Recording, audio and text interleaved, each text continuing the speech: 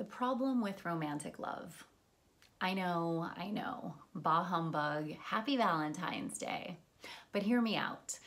Friends of mine and I have been talking about romance and romantic love, and I probably sound like I don't believe in love or being in love, and that's just not true.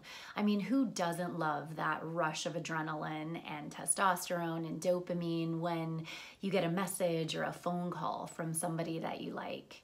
But married couples and people in long term relationships will probably agree that those types of feelings are really hard to sustain. And I'm not implying that married couples or people who have been together for a long time don't still feel excited and get butterflies when they're gonna see each other or have these amazing nights of passion together. What I am saying is that you shouldn't build a relationship based on romantic feelings.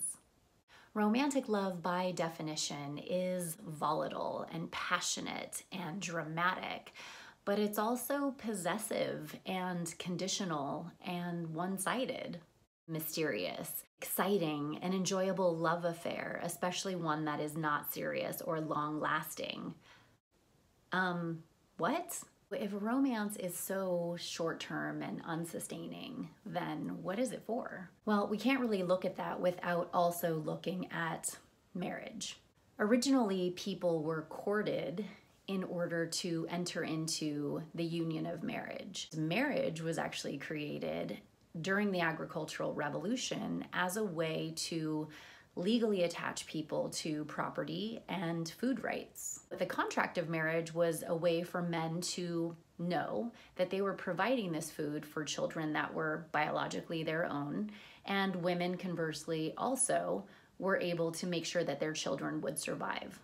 So romantic, I know. But is this old world idea of romance and marriage still applicable in our modern world? Most of us don't grow our own food, and we're quite capable of going to the grocery store and buying our own food supply. Yet we still practice these old school traditions of men providing the food when we go out on a date. Well, in many cultures and religious communities around the world, marriage is still a precursor to having a sexual relationship. So, a lot of times we're pursuing this partner in order to obtain a sexual right to them. Therefore, romance is somewhat of a barter. Because by agreeing to that, what I'm saying is, is that my love and affection is for sale or for barter. And that's not the type of relationship that I want to be in. Let's look how most romantic relationships would start. They would meet up online or through a friend, decide that they like the look of each other. And that usually would lead to kissing, which maybe would lead to hooking up, which would be really fun for a while.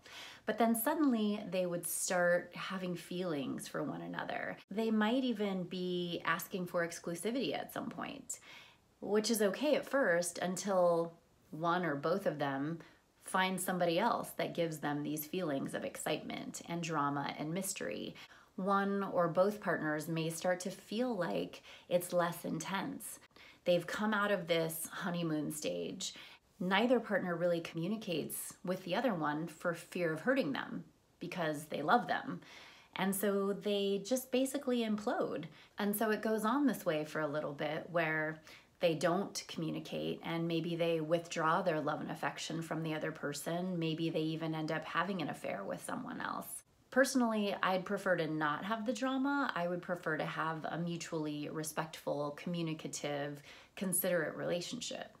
So let's look at how that would go. They meet online or through a friend and decide they like the look of each other, which starts the process of getting to know each other better. And then they start to share what their needs and expectations are. Does one or both partners need exclusivity in order to continue? Or can they just be casual? Let's say they have a non exclusive friendship for a while and continue to hook up. And maybe at some point, one or both partners start to have feelings. Then they can talk about those feelings and figure out if they want to continue or if maybe they want to progress into an exclusive relationship. Do they want to have kids? Do they want to get married? And yes, it can actually go in that order. Or maybe their love of each other doesn't need to turn into responsibility of each other.